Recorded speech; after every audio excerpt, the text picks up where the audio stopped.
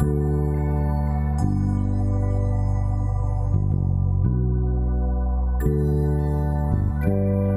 everyone, and welcome. My name's Abby Fry. I'm the Communications Manager at Moodle. And today I'm really pleased to be having a conversation with Fred Dixon, who is the Product Manager and co founder of Big Blue Button, the open source web conferencing platform. Hey, Fred. Hi, Abby. Fred, it's really timely to have you here for a conversation. Timely for two reasons. Firstly, we all know that the global pandemic has highlighted the massive adoption, explosion really, of online education, and in particular, how critical it is to foster learner engagement through virtual classrooms. It's also timely because Moodle 4.0, which is Moodle LMS's release planned for early next year, is going to include Big Blue Button as a standard integration, which is great news. So I'm really keen to talk to you about all of the features and benefits of Big Blue Button. But before we get started with that, I thought it would be really nice if you could tell us a bit about Big Blue Button's journey. How did it come to be? Okay.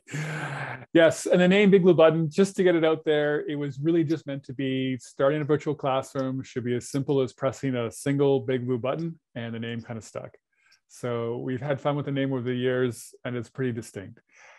Let me tell you a little bit about the background. So Big Blue Button started at Carleton University here in Ottawa, Ontario, Canada.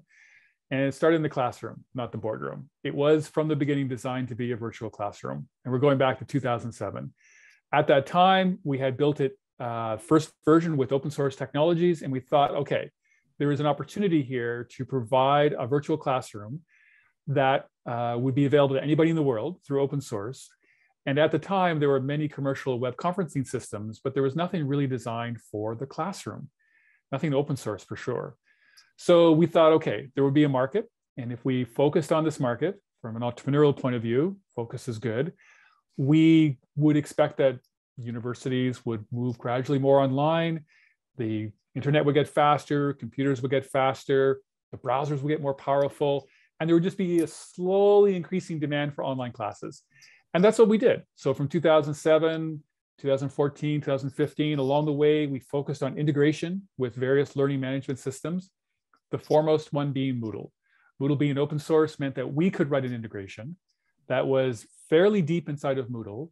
And then over the years, we continued to improve it. And up to about, let's say 2020, early, at that point, the integration for Big Blue Button uh, inside of Moodle, out of the 1400 plugins that were available for Moodle, I think we were like the sixth most downloaded plugin. We eventually became like the second and sometimes even the third. We kind of switched spots. But we had built something that was our intent that would look like a natural part of Moodle. And when you think about classrooms online, and I'll just talk about before the pandemic, there was lots of physical classrooms and the online wasn't meant to be complemented. So students who may be not able to attend classes, maybe they were studying remote, they could participate online. So when you think about what it meant to have an online component for a school, there would always be these two parts. There would be the asynchronous, which is what Moodle provides, logins, see your grades, assignments, discussions. And then there would be the synchronous part, which is the virtual classroom. And that's what we focused on. And so we focused on building an integration with Moodle over the years that made it look like part of Moodle because we could create a very deep integration, Moodle being open source, and so is Big Blue Button yeah, it will be cool to talk about features, but I'm also wanting to learn a little bit more about your choice of open source. I mean, obviously, that provides people the opportunity to download the software at no cost to them, in the same way that you can do that with Moodle LMS as an open source platform. But there must be a series of other benefits. You talked about integration, perhaps that's one of them. So the, the, primary benefit and the primary reason why we did open source was a combination of myself and my co-founder, Richard Alam. Richard is the CTO. He wrote Big Blue Button. So wouldn't be talking here without uh, the work that he did back in 2007. He had worked on it over a year. He was taking a master's program at Carleton University in the Technology Innovation Management program. And his thesis was on open source business models. I have started a number of companies over the years. I'm a serial entrepreneur. Uh, my first company ended up raising $13.5 million, had a company of 60 people. and it was doing a web-based data, anal- a data analysis component or product. And I knew at the time how much money we spent on marketing. It was a lot. And I'm a developer by trade. So I thought, okay, maybe if we had taken that money that we spent on marketing and made the product better, and then maybe if we had given the product away, but in a model where the more people use it, the more people want to contribute to it, the open source business model, that uh, if we solved a need that was global, then the product would be adopted around the world. And companies that are providing service and support, hosting, the traditional open source business model, uh, would be able to sell into that market. And that's what we did. I believe that we didn't need to do much on marketing. We needed to focus on building a product that focused on the needs of the teacher when they're teaching an online class, which is different than, let's say, a business meeting in a corporation. And that that product, if it was freely available, other people in the world would adopt it, build upon it, and create a commonwealth where the more that they want to improve, they can make the improvements and get those back. So open source for us meant that we could take the money we earned as a commercial company. And I should say I do wear two hats. So I'm the product manager of Big Blue Button, and I, I moonlight as the CEO of Blindside Networks. We're the company that started the Big Blue Button project. We offer hosting and support, integration, and if you want to have the product improved, you can pay us or other developers around the world to improve it. And the result was the product got better and better. And as web, browsers got better, the internet got faster, computers got faster, you were soon able to do, we were Flash at the beginning, we haven't been Flash for many years, but you were able to do things in the web browser that was real time, low latency audio and video. And then by continuing to focus on the needs of the teacher and the student, it meant that through deep integration, engagement, and analytics, we were able to offer what was clear to many people used as something designed to help the teacher engage students for the purpose of learning. So a couple ones, uh, Liverpool University in China, back in February of 2020, they were going offline in terms of like a full online learning. The, you know, the university was going towards a virtual model. And we helped them set up a pool of Big Blue Button servers, like 15 servers, so that they could handle thousands of concurrent students and teachers, all with open source. They paid us a little bit of time and effort, but they were able to do it. They were able to run in China and they were able to keep online and stay online perhaps the biggest example uh, I'll give you is the state in Germany, Baden-Württemberg. So Baden-Württemberg went, Germany shut down, and they set up 4,000 Big Blue Button servers to supply virtual classrooms to 3,000 schools, and they peaked at 185,000 concurrent teachers and students. That's all with open source. That's all with Moodle and Big Blue Button. I like that it's a, a journey of innovation and evolution over many years since 2007 as you say so the product has continually improved and that is a key key feature of the open source model and i guess that takes us to, to the point of thinking about some of the other alternatives that some people out there might be using currently in their workplaces such as zoom or google hangouts or maybe even teams but how is Big Blue Button a better alternative, or how do you see it as a better alternative for uh, virtual classrooms? Right. So all these products existed long before the pandemic, and very few, none of them focus on the educational market. They were business applications. They were team-based applications. The needs of a teacher are very much different than the needs of a manager. A teacher is trying to guide the students through a learning journey. And you think about what the students have to do, I mean, you have to remember recognize, apply, assess. It's very much constructive, constructivism, which is what the basis of Moodle is, right? You must do things. You must interact with your with the work, the teacher, your peers, the content. And by creating things, you learn. There are things that you can do in a virtual classroom that you would want to do that these other systems can't. So I'll give you some examples. We, look, we think of Big Blue Button in three areas in terms of differentiation. Uh, integration, engagement, and analytics. So a lot of other systems will have like an LTI integration, which is fine, nothing, nothing wrong with it. But Big Blue Button is natively has a native plugin. It is it is a plugin that is, as you as we talked about earlier, is now going into the core of Moodle. So that means we can get more data out of Moodle into Big Blue Button. We can put data from Big Blue Button back into Moodle. It also means that it can peer in parts of Moodle that other LTI tools can't. And the idea is that it just looks like a natural part of Moodle. So whether it's Moodle groups, the calendar, um, the activity settings that you would see common across modules, it's all there. We built on top of it and we were passionate about making sure we supported everything that Moodle wanted everything that Moodle provided a plugin to do. Big Blue Button is not an application. You don't have to install anything or upgrade or worry if your system is compatible for it. If you can run the latest web browsers, you can run Big Blue Button. So that means Mac, Unix, PC, iPad, uh, Android, iOS, uh, Chromebook. They'll all run. And again, the browsers have gotten fantastic over the years. The second is engagement. So when you think about teaching, you really want to engage students. So that's breakout rooms. We do things like multi-user whiteboard, where you can collaborate together with students and draw at the same time. We have shared notes, but you can actually have collaborative area inside. And in terms of like classroom management, a lot of K-12 wanted things like, ah, I don't want students to be able to do private chat, or I would like to restrict them from seeing everyone else's webcams and just myself, or I don't want them writing on the, on the um, shared notes. So we provide the teacher the ability to lock down or unlock the students as well. And we have things like raise hand, emojis, everything that you would look for in terms of an online class, but designed for letting the teacher engage the student. So Big Blue Button, probably by the time you see this, the release we have coming out now has something called the Learning Dashboard, which is instead of after your session's over, you get like an attendance and you get whether people have participated online, like did they ever talk, chat, speak, raise their hand, share their webcam. And the responses to polls would tell you if you're a teacher and you taught for 30 minutes, asked a couple polling questions about the content you just talked, the results would tell you are the kids learning? I use kids, but adults as well, right? Are, are the students learning? So we built into Big Blue Button a live dashboard. So that is instructor could have it open. They would see, I'd answer three questions for them.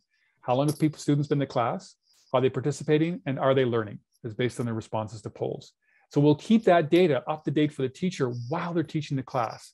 And so these other products will give you reports that are a subset of this, but it's after the class over.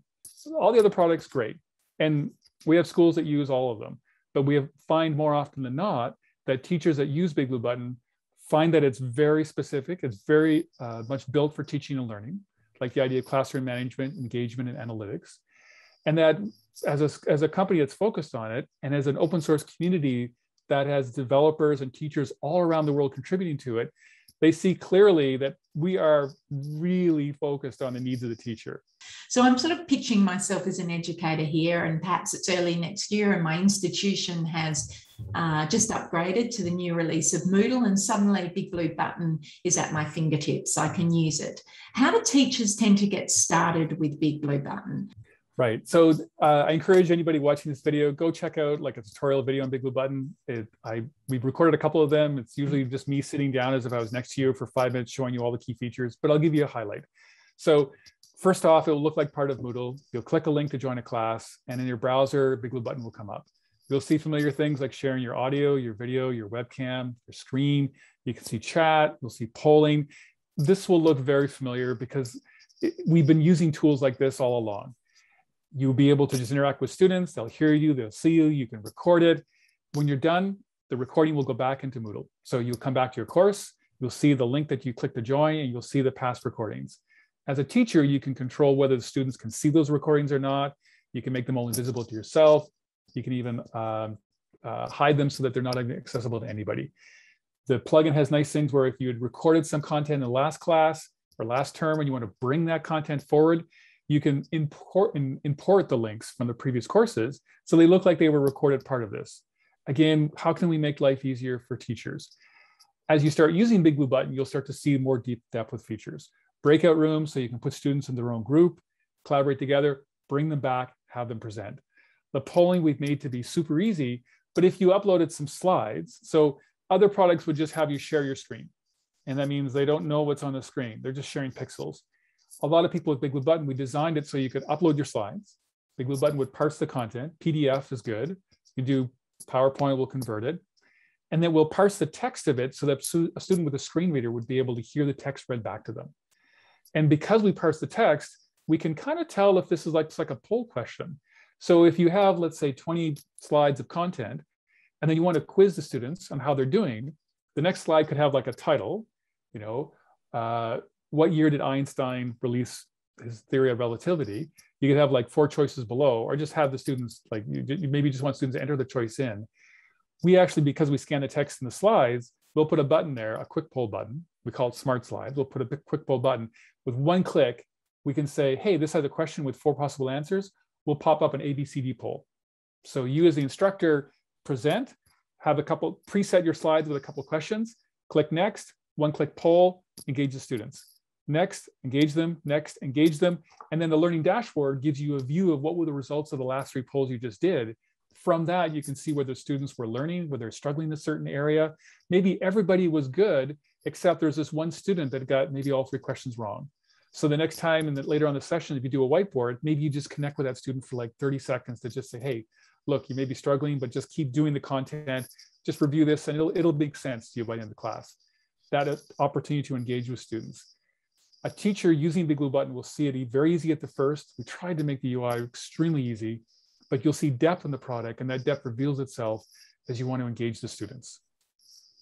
It's really about making students active participants in their learning and then also utilizing data to help you differentiate and uh, identify students who may be at risk or need more support. So there's so many features I can see to really enhance the delivery um, in a live setting, in a synchronous setting. So we've been talking a lot about education institutions and teachers, schools, universities. Obviously, online learning has grown exponentially in workplaces as well you know, for upskilling, retaining staff, creating a culture of learning, any number of things. Do you see a place for Big Blue Button in workplace environments? Yes. So workplace is more about compliance, but the concepts are similar. The student has to learn and the teacher has to teach. They both have a job they want to accomplish. And of course, in the workplace, it is their job. So in terms of an integrated system, you want something that makes it easy for you to engage the students because you've got, let's say, an hour in workplace safety and you probably have compliance.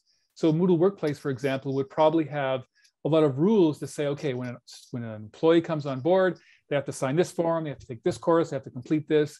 Part of that might be they have to do, let's say, an hour health and safety training live, like they have to be in a class. Well, in Big Blue Button, we know if you're there the whole time. We, we can see whether you are even active, whether you can raise your hand or responded to a poll. And we could put that data back into Moodle so that later on, when the report is run or the, the workflow is triggering to say, has the employee completed their onboarded training?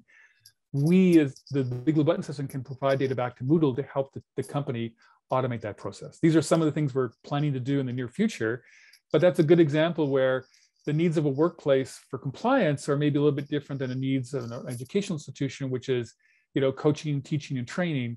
But there's a little bit more oversight and reporting going on. And because that integration is there, because we have the data, we can get that back into Moodle and help the company streamline its processes for onboarding employees or training employees.